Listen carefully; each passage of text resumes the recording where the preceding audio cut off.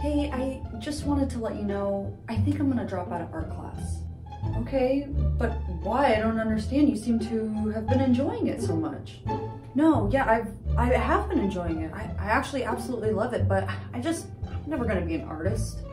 What on earth makes you say that? Why why couldn't you become an artist? I mean, what right do I have to like I'm gonna become an artist? Like, there's no way. Who do I think I am? People don't just become artists. They do actually just become artists. You you work on something that you love and then you become an artist.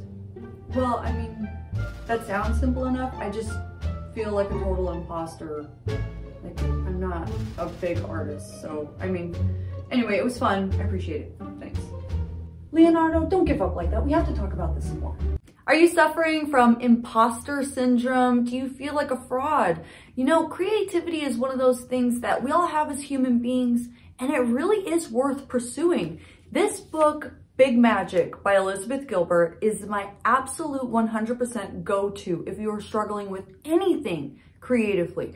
She explains creativity in a completely unique way and it, the, my favorite part about this book that she explains is that ideas are like outside entities that kind of come to us and give us these great ideas. That's weird. And it's not actually us coming up with the ideas, but thinking of it this way is what keeps ideas on tap. And I absolutely love this book. She's just a damn good author too. Just, I love the way that she writes. Eat, Pray, Love was such a great book. So if you like that book and you're into the self-help genre, pick up this book. You will not be disappointed. I always highly recommend this book. Check out what she has to say about, you know, in, entitlement and creativity.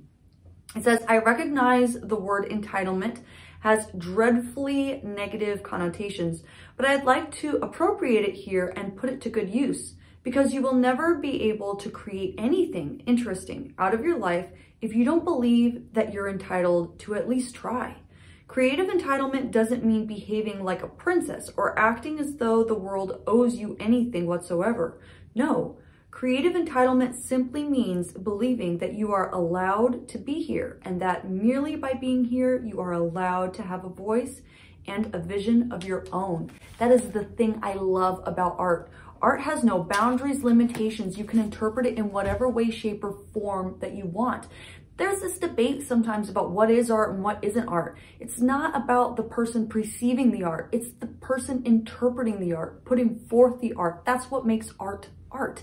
It is our entitlement or it is our ability to be able to have an interpretation of what we see and to put it to either canvas, music, it could be anything. That's the thing about creativity sometimes that gets a little sideways for people is they think you have to pick up a paintbrush or an instrument in order to be creative. With this tool, I shall give birth to art! But you can be creative about just about anything.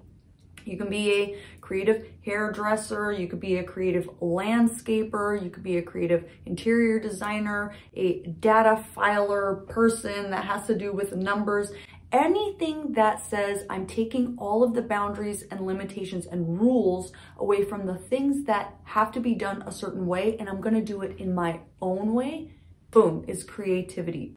Bullshit. Bullshit.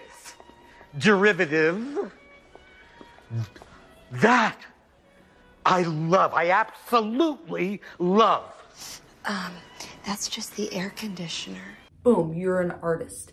And you can never be wrong with that because that's your own interpretation. Hope this got the creative juices flowing. Thanks so much for watching. See you tomorrow, Booksters. Hey there, thanks so much for watching the video all the way to the end. And thank you for all the support by clicking the like button and the subscribe button. It helps us support the channel. Also, I'm over on um, Instagram. I do IG lives and coaching and I leave some bloopers on there as well. And thanks so much for commenting. Um, I read all the comments and I really appreciate them. Thanks. Bye.